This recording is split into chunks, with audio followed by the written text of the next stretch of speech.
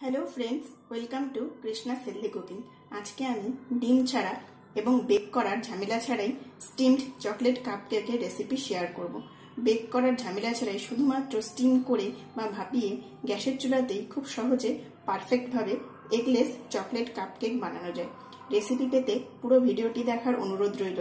তো চলুন steamed chocolate cup cake বানানো যাক।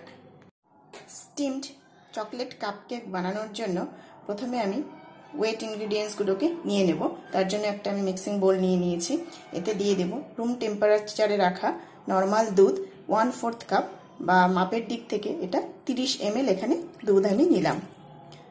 আর এর সাথে নিয়ে নেব দু টেবিল স্পুন ভেজিটেবল অয়েল বা আপনারা যে কোনো নিউট্রাল ফ্লেভারের কিন্তু তেল নিতে পারেন। ফ্লেভার ছাড়া যে কোনো তেলে কিন্তু নেওয়া যেতে পারে। আর নিয়ে নেব হাফ টেবিল স্পুন ভিনিগার। যেহেতু আমি এটা ডিম ছাড়া বানাবো এগলেস সেই জন্য কিন্তু আমি হাফ চামচ ভিনিগার দিলাম। আপনারা কিন্তু ভিনিগারের পরিবর্তে লেবুর রসও দিতে পারেন, অথবা কিন্তু দুধ বা লেবুর রস বাদে আপনারা কিন্তু টক দইও এর পরিবর্তে ব্যবহার করতে পারেন। আর ফ্লেভারের জন্য দিয়ে দেবো ভ্যানিলা এসেন্স তিন চার ড্রপ তিন চার ড্রপ আমি ভ্যানিলা এসেন্স দিলাম। এটাকে এবার ভালো করে মিক্স করে নেব।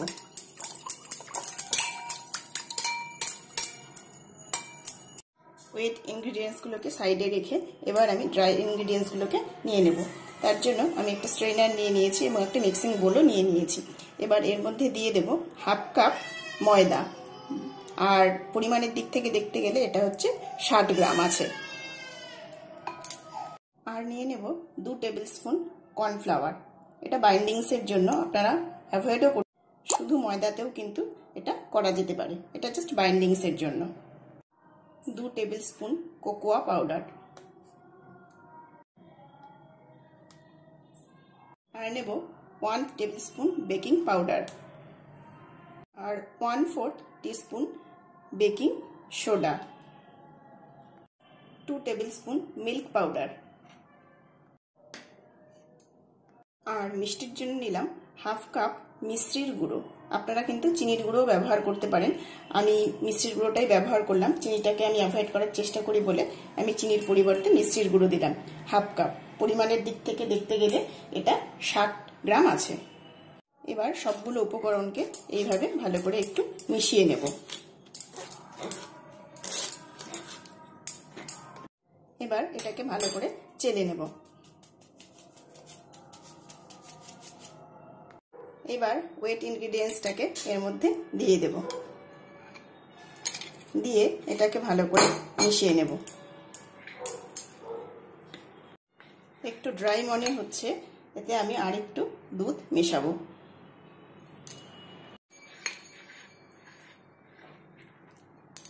ভালোভাবে ব্যাটারটা আমি তৈরি করে নিলাম। কনসিস্টেন্সিটা এরকম থাকবে। আমি মোট ষাট এম মতো দুধ নিয়েছিলাম। তার মধ্যে এতটুকু রয়ে গেছে। অর্থাৎ মোট পঞ্চাশ এম মতো আমি দুধ ব্যবহার করেছি। এটা আপনারা বুঝে ব্যবহার করবেন। পোরিং কনসিস্টেন্সিটা এরকম থাকবে। তাহলেই বুঝবেন যে ব্যাটারটা পারফেক্টভাবে তৈরি হয়েছে। এবার কেকটাকে স্টিম করার জন্য আমি একটি খুব ভারী থিকনেস যুক্ত একটি সসপ্যান নিয়ে নিয়েছি স্টিলের এটাকে আমি প্রথমে জল, তাতে কিছুটা পরিমাণ জল দিয়ে নিয়েছি এবং এটাকে প্রথমে বয়েল হতে দেব। এবার বয়েল হয়ে গেলে এটার উপরে এরকম একটি ঝাঁঝরিযুক্ত থালা দিয়ে দেব। যদি কারও কাছে স্টিমার থাকে বা মোমো মেকার থাকে, আপনারা কিন্তু সেটাতেও করতে পারেন। এবার আমি কাপ কেকের মোল্ড নিয়ে নিয়েছি, এটা সিলিকনের মোল্ড। এবার এর মধ্যে আমি হাফ করে ব্যাটারগুলোকে এর মধ্যে তুলো, ভর্তি করে কিন্তু তোলা যাবে না। হাফ করে কিন্তু তুললেই হবে, কারণ এটা ফুলে উঠবে, সেই জন্য কিছুটা গ্যাপ রাখতে হবে। সেই জন্য আমি হাফ করে এটাকে ভরে দেব।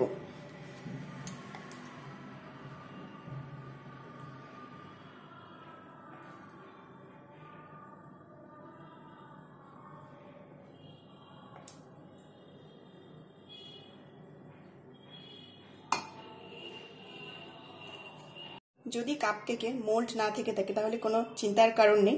এরকম স্টিলের ছোট বাটি বা ছোট কাপ থাকে যদি যদি ছোট বাটি হয়, তাতেও কিন্তু এই কেক বেক করা যাবে। আমি এটাতেও করে দেখাচ্ছি আপনাদেরকে।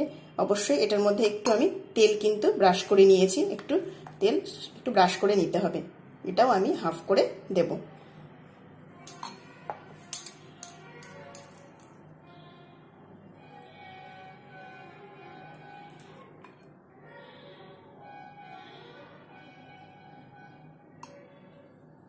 যতটুকু আমার ব্যাটার তৈরি করেছিলাম, তাতে আমি আটটা কেক তৈরি হবে।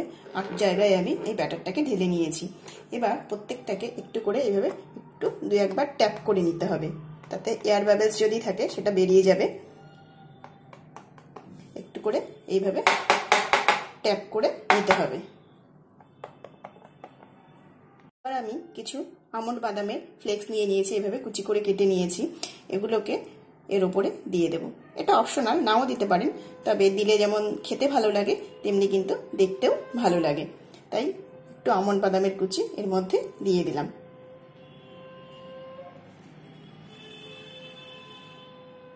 সবগুলো কেকের ওপরেই আমি আমন্ড ফ্লেক্স দিয়ে নিলাম। এবার এই ঝাঁঝরা থালাটার ওপরে এক এক করে আমি মোল্ডগুলো সাজিয়ে নেব।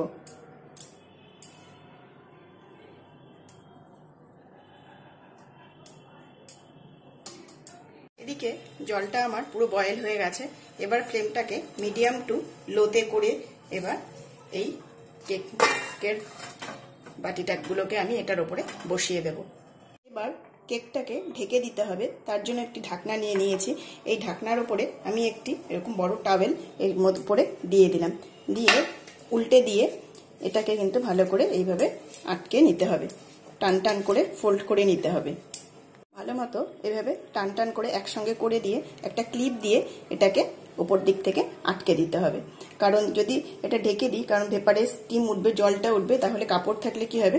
জলটা এটার মধ্যে শুষে নেবে। এবার এটাকে এইভাবে ঢেকে দেব এবং মিনিট কুড়ি এটা স্টিম হতে দেব। মোট পঁচিশ মিনিট পর আমি ঢাকনাটাকে সরালাম। আমি কুড়ি মিনিটে চেক করেছিলাম, সেটা হয়নি। সেজন্য আরও পাঁচ মিনিট আমি এটাকে স্টিম করে নিলাম। এবার আপনারা চেক করে নেবেন। সময়টা কুড়ি মিনিট বা পঁচিশ মিনিট। কম বেশি একটু লাগতে পারে। দেখুন নাইফটা ক্লিয়ার এসেছে, তাহলে বুঝতে হবে কেকটা ভালো মতো স্টিম হয়ে গেছে এবং ফুলে কিন্তু ডাবল হয়ে গেছে। এবার গ্যাসের ফ্লেমটাকে আমি অফ করে দিলাম। এবার এটাকে নামিয়ে একটু ঠান্ডা হতে দেব। কেকগুলোকে আমি নামিয়ে কিছুক্ষণ ঠান্ডা হতে দেব।